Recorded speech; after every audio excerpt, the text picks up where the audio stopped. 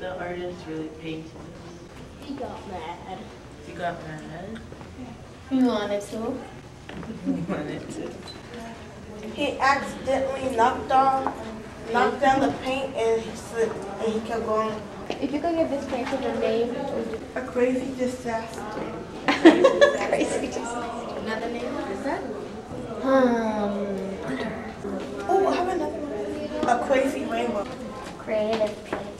Creative oh, painting. Oh, Why do you call it creative painting? It looks like he just Did it? did something to it.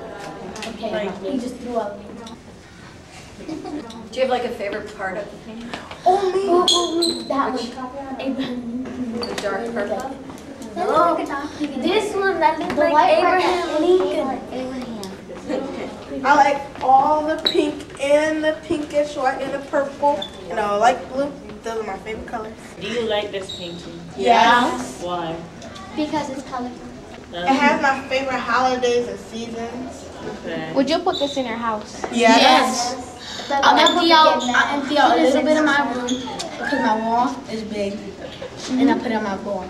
I'll make it into a heart and put it on my wall. Not a heart. Would you show this to anyone in your family? Yeah. My grandma, she likes it. My students are gaining a lot of knowledge about art and colors and subject matter and expression of feelings. They're also becoming more vocal and expressing their thoughts where sometimes just reading a book it's it's not as easy to get them to respond so So this will help them with their regular schoolwork. absolutely it's helping a lot and that it's in Bridgeport and they can bring their family here I think this is great I, I really think this program is just so wonderful that and I hope all schools can participate.